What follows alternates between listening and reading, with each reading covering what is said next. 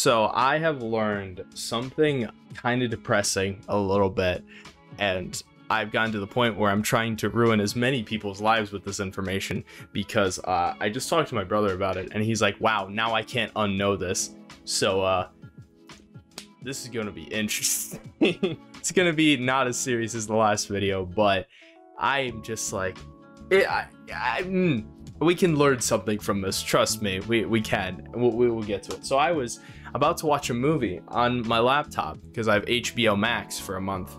And I was scrolling through the movies. I see it right there. I was scrolling through the movies, scrolling through the comedy movies. Remember Alpha and Omega from like 2010? A movie about a two wolves. And that's the plot, I guess. I don't know. Two animated wolves, right? Well, I look on HBO Max and I see five Alpha and Omega movies.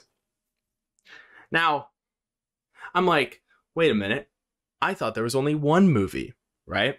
I've only heard of the one movie. The first movie wasn't even that great, in my opinion. I think it was okay, right? When I saw it at the time.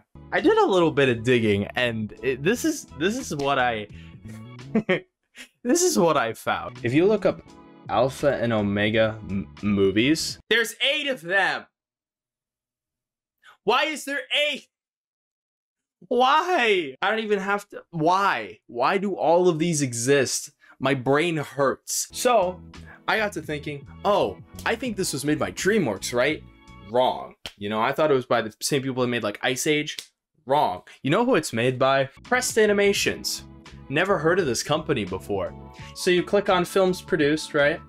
So you have Alpha and Omega, Swan Princess, Alpha and Omega, Swan Princess, Swan Princess, Alpha and Omega, Swan Princess, Alpha and Omega, Swan Princess, Swan Princess, Swan Princess, Swan Princess.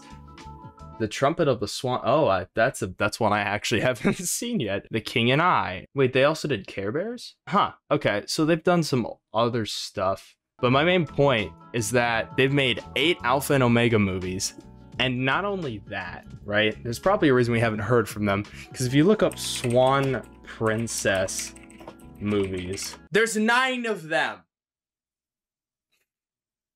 Never heard of this before in my entire life. There's only reviews of this first one. Nobody knows about the other eight movies. Gee, I wonder why. So now you know there are eight Alpha and Omega movies and nine Swan Princess movies, most of which nobody knows about, like at all. Their marketing was terrible. I want to say Crest is out of business, but if you can see here, Swan Princess 9 was made last year. What? what? Why? I just stuff like this doesn't make sense to me. Stuff like this kind of makes me mad because it's like, why make nine movies about something? The only thing I can think of is Fast and Furious or Star Wars. But Star Wars is good, right? Fast and Furious, I've never seen any of the movies, but it, it's not my taste, right? But something like this, I don't understand why you would need nine movies for the Swan Princess. That's what I'm not understanding. I don't think there's that much Swan Princess lore or Alpha and Omega lore, to be honest. I'm dumbfounded. I'm just amazed and kind of flabbergasted that this even exists. And now I've ruined your uh, life with this info that there are eight Alpha and Omega movies and nine Swan Princess movies, all made by Crest Animation Productions. So now you know that info, and now you know my pain. so me, I'm like, okay, well, let's look at the reviews. There's only a review on the first movie, so nobody has reviewed the other eight movies. And then for the Alpha and Omega movies, this is interesting specifically. There is one guy that has reviewed. Hi. Hi. I'm talking about the the the info that I Oh, wrote you're recording? Yeah. Oh, sorry. I didn't mean to. No, it's fine. He he was the person that I that I ruined his life with this info. So with the Alpha and Omega movies, it was really interesting because apparently, uh, there's one guy on YouTube that has reviewed uh, all of them, every single one. So we have those reviews, so that's cool. But nobody knows about Swan Princess, so that's interesting. So me here, I'm kind of just like, why the frick are there nine movies? Why the frick are there eight movies? So now my brain's like, oh, I kind of want to watch them now and see why they kept making the movies. It just doesn't make sense to me. Like you can literally see with Swan Princess that the animation has like changed like every single movie.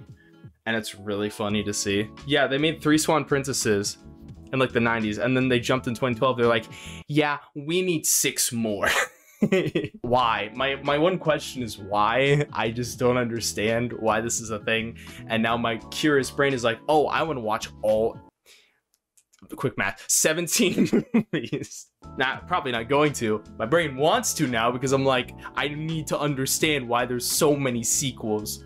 It makes no sense to me. Come up with some other ips please because like to be honest like seeing this makes me think that like oh these guys aren't as creative as they probably should be because all they're doing is making sequels and to be fair they made other things which i didn't know about until like recording this specifically but what I'm saying is, unless you have a really good reason for making nine movies on one storyline, probably don't do it and make something different. I'm just saying.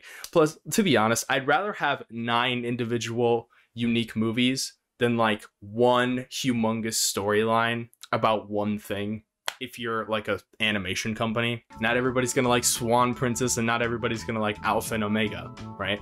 That's why Disney's really good at what they do because like every single year-ish, kinda, they come out with like a brand new unique experience of a movie that's different from the last and that's important with animation in my opinion so to see this it's kind of just counterproductive in my mind and i'm like it makes me laugh because i just don't understand the mindset with this sort of thing unless there's a huge lore rabbit hole that I just don't know about. But for Swan Princess, kinda doubt it. It just seems like a cash grab in my mind. So I've ruined your life. You're welcome. Um, share this info with everybody you know because it's a fun trivia fact uh, to ruin people's lives. Because why the frick would you make eight Alpha and Omega movies and nine Swan Princess movies when nobody thinks either is worth anybody's time.